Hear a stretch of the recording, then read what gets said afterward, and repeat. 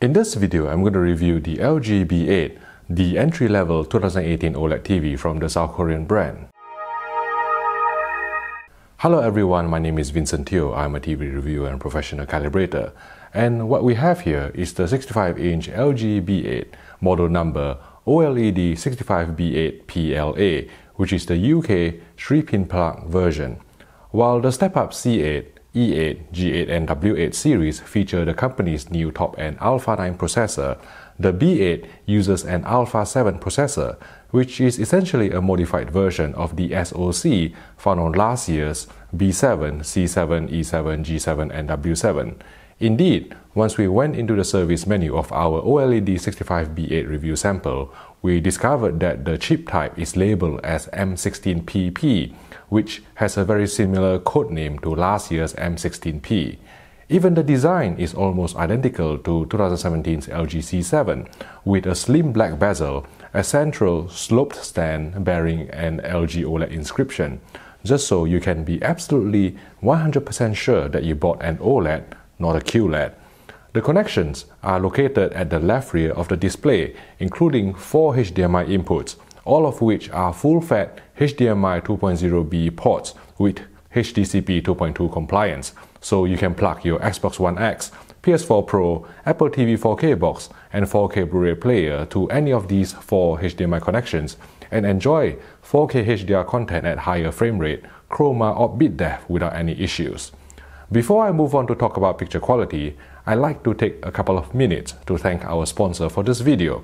In case you're new to this channel, Crampton Moore is an electrical retailer based in the UK I've enjoyed working with over the past few years. Sometimes they loan me TVs to review, TVs that maybe some manufacturers are reluctant to send to me for in-depth testing.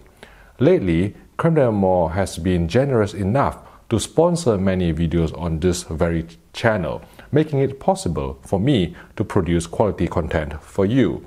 So if you are considering buying a new television, even if it's not this LG B8, please support this channel by considering buying from Crampton Moore. Call 0113 244 6607 and ask for David Conner, and he'll take care of you with great price and service. Thanks again for your support. Our 65-inch B8 uses the latest WRGB OLED panel from LG Display, as you can see from this macro photo of the subpixel configuration here, where some of the subpixels are notched. Based on the 2017 and 2018 OLEDs we have reviewed and calibrated so far, 2018 OLED panels generally have slightly better uniformity than 2017 panels. When asked to display brighter full-field gray slides, our OLED 65B8 review unit didn't exhibit any color tinting, banding, or dirty screen effect, which means you can watch football or ice hockey without seeing screen uniformity issues that may spoil your viewing experience. In very dark scenes, no consumer OLED TV is free of thin vertical streaks, but our LG B8 review sample is one of the cleanest we've seen in this regard. We barely noticed any vertical banding in the movie Arrival, which is very challenging for OLED because the whole movie is quite dark and many scenes contain elements just above black. Otherwise, because every OLED pixel can be turned on and off independently of each other, the display technology is self-emissive after all. The LG B8 is capable of delivering true blacks, vibrant colors, and wide viewing angles. A quick word about the 3D LUT AutoCal feature. Yes, I was extremely excited about its potential at CES earlier this year, but after in-depth testing, I'm still hesitant about using it when calibrating for my customers because of a couple of reasons. First, after 3D LUT auto calibration on 2018 LG OLEDs including the B8, some important picture settings such as color gamut, gamma and white balance are locked and there is currently no way to save these settings in such a way that my customers can restore the calibrated settings themselves in the unlikely event of a factory reset. Second, although LG Electronics and portrait displays have worked hard to improve things, tonal gradation is still worse after 3D LUT AutoCal. Some other calibrators claim their Lightning LUT, which measures only 101 color points and interpolate the rest, can be used safely without introducing issues, but I'm still not 100% happy with the results at the time I filmed this video in August 2018. Here, I have calibrated ISF Expert Darkroom mode manually using my normal method, while ISF Expert Brightroom mode was calibrated using Lightning LUT AutoCal. This is a color ramp pattern from TED's calibration disk. I'll leave a link to this excellent test disk in the YouTube description below. I'm not sure how YouTube's compression will affect what you see in this video, but as I toggle between ISF Expert Darkroom and ISF Expert Brightroom modes, I could see that in the ISF Expert Brightroom mode, which by the way has been calibrated using Lightning LUT AutoCal, the color transition from one tone to another is more stair-stepped and less smooth. Is this visible in real-life content? Yes, especially in less than pristine sources, because the coarser gradation would exaggerate the compression artifacts you see on screen. Here is a dark scene from Father Brown, which is broadcast in 1080i from ITV HD.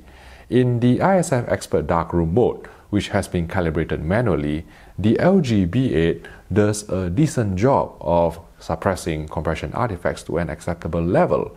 But if we switch to ISF Expert Brightroom mode, which has been auto-called using Lightning LUT, the near black posterization becomes much more obvious, resulting in a noisier picture. It is for this reason that I'm still calibrating 2018 LG OLEDs manually for my customers because that's the only way I can be sure I'm achieving the cleanest picture possible together with accurate colors. On this challenging color checker SG chart where 140 color patches are measured, average delta error or DE on our LG B8 review unit was only 1.14 after manual calibration well below the humanly visible threshold of delta error 3, which means memory colors including skin tones will look extremely natural and realistic. Next, let's talk about motion. Like other 2018 OLEDs from LG Electronics, the B8 offers BFI or black frame insertion. Now, when I reviewed the C8 a few months ago, I pointed out that some frame interpolation is still being applied with BFI engaged. This appears to have been fixed or reduced on the B8, judging from our interpolation detector pattern. Maybe it's the different chipset, maybe it's the firmware. However, I don't think many viewers will be able to tolerate black frame insertion on current OLED TVs, mainly because of flicker, particularly in brighter scenes with 50Hz broadcast content we get in the UK and Europe. I mean, I'm one of the biggest advocate of black frame insertion out there, but there's no way I can sit through an entire football match or an entire tennis match with BFI enabled on an OLED TV, regardless of whether it's from LG, it's from Panasonic, or it's from Sony. The flicker just gets too tiring after a while, even if motion blur is reduced. On the video processing front, the LG B8 doesn't seem to have the decontouring filter implemented on LG OLEDs with Alpha 9 processor, such as the C8, E8, G8, and W8, probably because the B8 is only using an Alpha 7 chipset. Now, if you've watched my review of the LG C8, you may remember that LG has put its decontouring filter under the MPEG noise reduction control. But on the B8, engaging MPEG noise reduction had no effect on smoothing out the posterization in this scene from The Martian. Because I am a purist, I prefer not to enable MPEG noise reduction on LG 2018 OLEDs since it also scrubs away some fine detail. But if you like smoother gradation and cleaner near blacks at the expense of losing some fine detail, just be aware that the decontouring filter is available on the C8 but not on the B8. When it comes to HDR, peak brightness on our LG 65B8 review sample measured 670 nits on a 10% window after calibration to D65 white point and 135 nits full field. DCI-P3 color gamut coverage was 99%, as we had come to expect from WRGB OLED panels over the past couple of years. One interesting finding we found on the B8 was that LG seemed to have changed its tone mapping algorithm to respond to max CLL instead of max MDL metadata. You're probably confused now, so let me explain. MDL and max CLL are static metadata that are embedded into HDR content as outlined in SMPTE's ST2086 document. MDL stands for Mastering Display Luminance, and on 4K Blu-rays, the maximum MDL is generally set at either 1000 nits or 4000 nits. 1000 nits if the HDR movie is mastered on a Sony BVM X300 RGB OLED monitor, 4000 nits if it's mastered on a Dolby Pulsar. Max CLL, on the other hand, stands for Maximum Content Light Level, representing the brightest pixel in the movie. For as far as I could remember, LG OLEDs have always responded to MDL in that they adapt their tone curve based on the maximum mastering display luminance metadata. But this approach can be problematic because some titles that send a maximum mastering display luminance metadata of 4000 nits, perhaps they are mastered on the Dolby Pulsar, actually only contain a much lower max CLL in that the brightest pixel element doesn't come anywhere close to 4000 nits. The most drastic example I always use is the 4K Blu-ray of Goodfellas. It has a max MDL of 4000 nits, but a max CLL of only 247 nits. So if an OLED TV only responds to max MDL, it will try to adapt its tone curve to try and tone map 4000 nits to an OLED's peak brightness of let's say 600 or 700 nits, when there's absolutely no need to do that at all, since the brightest pixel only goes up to 247 nits. In other words, responding to max CLL is a much more sensible approach for tone mapping. Panasonic has been using this method on their OLEDs, and I'm happy to see LG start using it too. This brings us to tone mapping for HDR games, which is even trickier because some games contain metadata that goes all the way up to 10,000 nits. But before I show you the difference between the LG B8 and last year's B7 in HDR game mode, here are the input lag times for the B8. 21 milliseconds in both 1080p SDR and 4K HDR game modes, making it one of the most responsive TVs for playing games on the market right now. Okay, the LG B7 versus the B8. Here are the respective PQ EOTF tracking curve when fed a 10,000 nit metadata. As you can see, the B8 tracks the yellow line for as long as possible, is even slightly brighter, up to around 300 nits before rolling off to retain more specular highlight detail. But on the B7, the entire tone curve is depressed across the board, causing the whole picture to look too dark. So at baseline, the 2018 LG OLEDs will already look brighter than 2017 OLEDs for HDR games. But on top of that, the 2018 models, including the B8, also offer dynamic tone mapping in game mode that can brighten 10,000 nit games even further. Before I end this video, I want to talk about the risk of burn-in on OLED TVs because I know some of you will bring up this topic in the YouTube comments section below.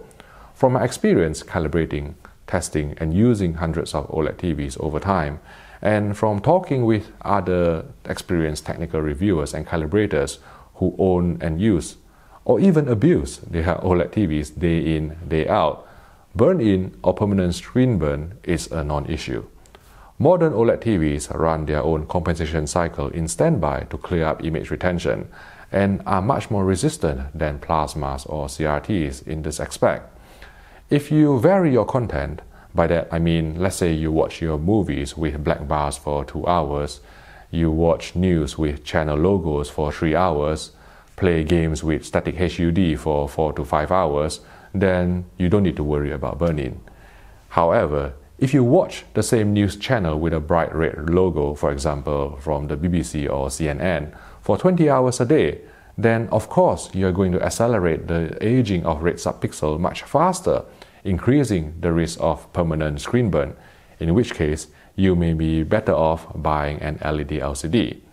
Now, I'm in the process of designing my own burn-in test on 2018 OLEDs that reflects real-world usage, but I'm stuck at a stage where I need to find source devices that can switch on and off automatically at certain times.